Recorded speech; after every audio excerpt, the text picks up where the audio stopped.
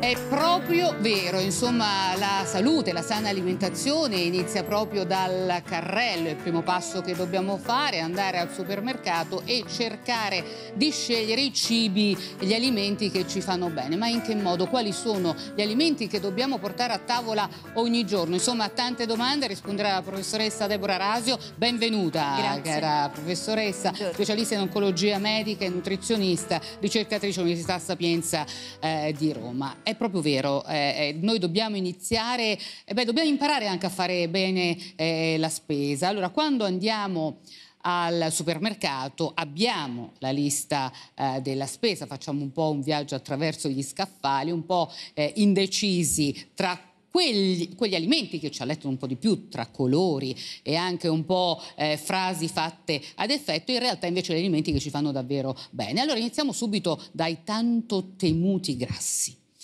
Quali e perché li dobbiamo consumare eh, nella nostra alimentazione quotidiana e quali sono? I grassi sono fondamentali per la vita e per diverse ragioni, ma intanto contengono le vitamine liposolubili, cioè vitamine sciolte negli alimenti grassi. Le vitamine sono quelle sostanze che ci fanno ammalare se non le mangiamo, ammine di vita. Se non mangiamo sufficienti grassi non trasformati a livello industriale, siamo carenti di vitamine liposolubili e di fatto ci ammaliamo.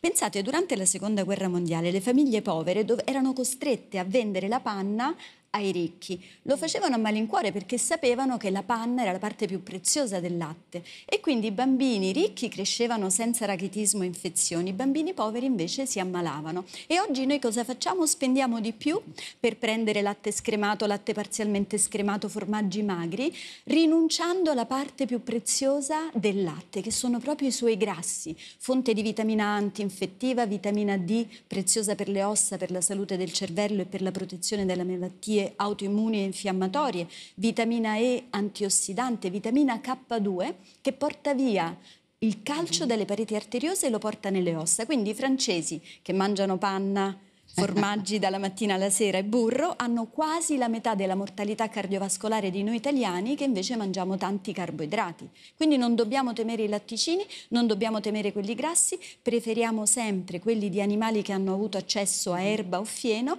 così da ritrovare le vitamine del sole e dell'erba nei loro prodotti. Allora, abbiamo visto poco fa proprio una lista delle cose che devono essere consumate eh, quotidianamente. A parte i latti e i latticini ci sono anche altri alimenti che noi dobbiamo eh, consumare eh, nella nostra alimentazione. Se andiamo nel mondo vegetale abbiamo la frutta oleosa, noci, mandorle e nocciole. Sono caloriche ma non fanno ingrassare. Addirittura il contrario, chi più consuma frutta oleosa negli anni prende meno peso rispetto a chi non la consuma. La stessa cosa vale anche per la cioccolata. Ecco. Perché in realtà Tutte belle alim- notizie ci, ci Eh sta sì, dando, perché- eh, professoressa, oggi, per fortuna. eh. Esatto, perché la salute non è una cosa triste, la salute Eh. è meravigliosa e poi la natura ci offre tutto quello di cui abbiamo bisogno. Quindi questi semi, la frutta oleosa, contengono un cocktail di vitamine e minerali, antiossidanti e grassi buoni che ci aiutano a rimanere in salute. Consumare 20-30 grammi ogni giorno di frutta oleosa, noci, mandorle e nocciole riduce del 30% il rischio di morire di malattie cardiovascolari e del 20% il rischio di morire di ogni causa. Perché?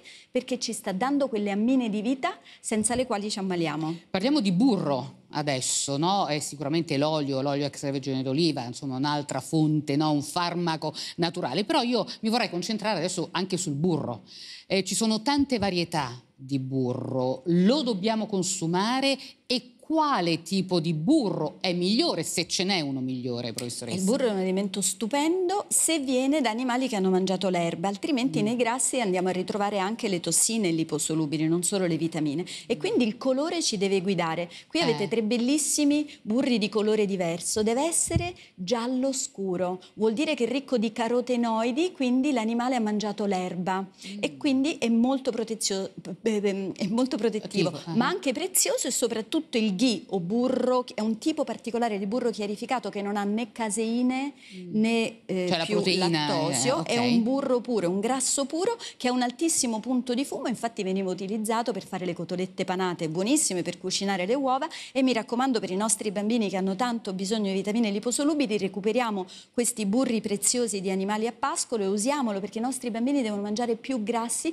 essendo organismi in crescita ne hanno Per cui particolare il bisogno. migliore è quello chiarificato, professoressa, Chiarificato certificato, solo se viene da animali a pascolo. Ecco, e questo c'è scritto nelle etichette, dovremmo imparare un po' a leggere le etichette, ma c'è scritto tutto. Passiamo alle uova anche le uova. Beh, le uova. Però anche qui bisogna fare attenzione a quale uova si scelgono, vero? Uova sempre biologiche perché almeno la gallina ha avuto modo un po' di razzolare e di mangiare un pochino di vermetti e altri insetti. Però le uova immaginiamo che hanno tutti i nutrienti che servono un'unica cellula per diventare un pulcino Mm. e quindi bisogna consumare due uova tutti i giorni se siamo organismi in crescita, una donna incinta, pensate che in Cina andavano a consumare fino a 10 uova al giorno perché sapevano che così avrebbero avuto bambini intelligenti, perché sono una fonte preziosa di colina, che è un nutriente che serve a fare acetilcolina, il neurotrasmettitore della memoria. Quindi molto importanti le uova per i bambini, non è vero che ne dobbiamo mangiare due a settimana, il bambino sa, quindi il Eh. bambino vuole mangiare un uovo tutti i giorni, diamoglielo assolutamente come facevano le nostre nonne, l'uovo Vabbè, fresco tutti i giorni e vero. anche però nella terza età per proteggerci dalla perdita della memoria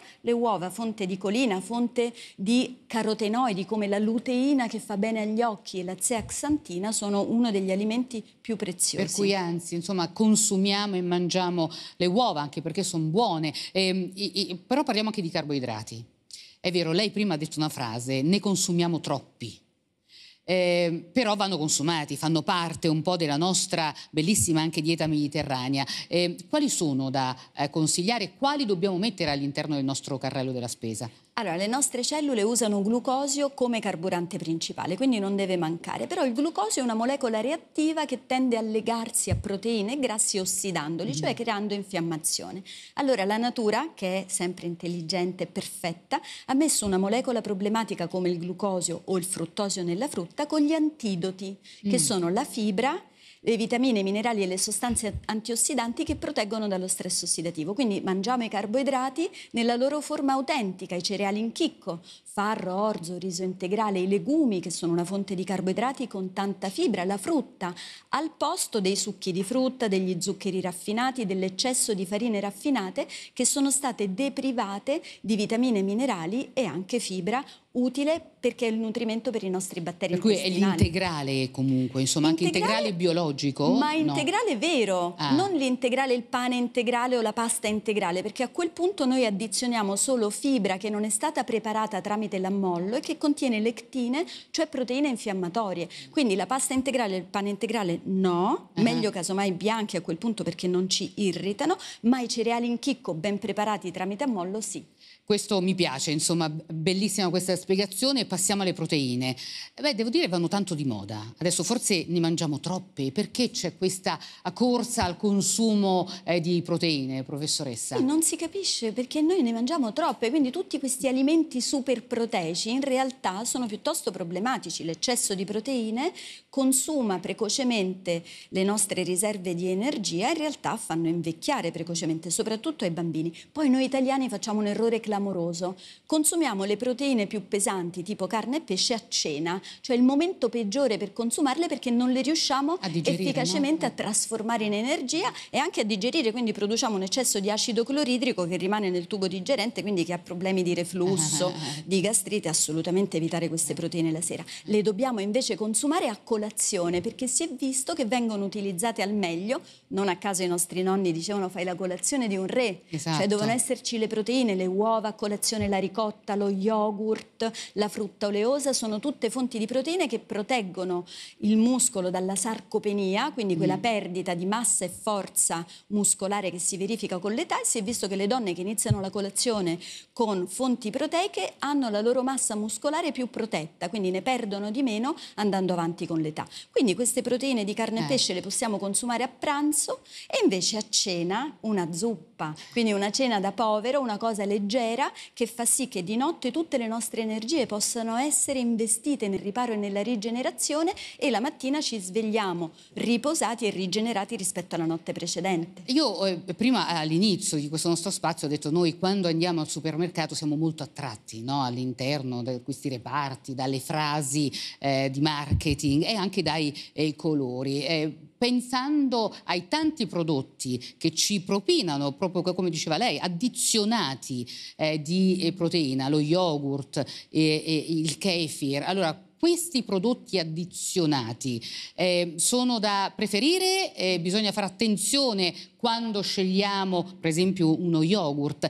Co cosa ci deve essere scritto all'interno dell'etichetta quando scegliamo appunto un prodotto eh, come lo yogurt o il kefir? Nello yogurt ci deve essere solo latte, fermenti, Basta, non mm. ci deve essere nient'altro. Se un, un, prodotto trasformato a livello industriale contiene più di quattro ingredienti, stiamo comprando un alimento ultra trasformato che fa male a tutti i sistemi in tutti i modi e che è una causa ormai nota di mortalità precoce e di malattie. Quindi noi dobbiamo, ne, leggiamo le etichette, ci sono più di quattro ingredienti, non Via. è una buona scelta. Prendiamo uno yogurt naturale, inutile che sia addizionato ecco, tante cose. Vedendo, no? eh, infatti, Guardate eh. quanti ingredienti assurdi assurdi, gli addensanti, gli aromi naturali, gli edulcoranti, sono tutte cose che disregolano il microbiota intestinale creando infiammazione, ci prendiamo un bello yogurt, se vogliamo greco, che è doppio filtrato, che ha già più proteine, e ci mangiamo una manciata di frutta oleosa, noci, mandorle e nocciole, abbiamo preso non solo proteine ma anche tante vitamine e minerali che fanno bene al nostro Lo sistema. Lo stesso vale anche per il kefir, vero professoressa? Certamente, ci, ci anzi il kefir là. è anche meglio dello yogurt perché uh contiene più varietà di probiotici e contiene anche anche dei saccaromices molto utili per l'intestino. Tante persone risolvono i loro problemi intestinali consumando regolarmente il kefir tutti i giorni. E parliamo anche delle microplastiche, c'è stata anche un'allerta eh, insomma ne mangiamo troppe perché quando andiamo eh, al supermercato tutti i prodotti sono confezionati e tutto questo si ripercuote anche sugli alimenti, è vero? E certo, qualunque alimento avvolto nella pellicola di plastica comincia a assorbire le plastiche e quindi dobbiamo fare attenzione, per questo un'altra buona ragione per comprare alimenti minimamente trasformati, eh. ma attenzione soprattutto all'acqua. Noi facciamo un uso spropositato di acqua in plastica. Hanno analizzato con l'intelligenza artificiale il numero di microplastiche presenti in un litro di acqua di bottiglia e a seconda delle marche variavano da 140.000 particelle a 370.000 particelle di microplastica in un litro di acqua. Va da sé che queste microplastiche sono molto piccole, quindi penetrano, entrano nelle nostre cellule, entrano nel nucleo cellulare e iniziano a rilasciare le loro sostanze. Quindi interferiscono con il funzionamento delle nostre cellule, interferiscono con i nostri sistemi endocrini. Comprare acqua in bottiglia è una follia, in bottiglia di plastica. Usiamo l'acqua potabile, purifichiamola attraverso una procedura super semplice, la bolliamo.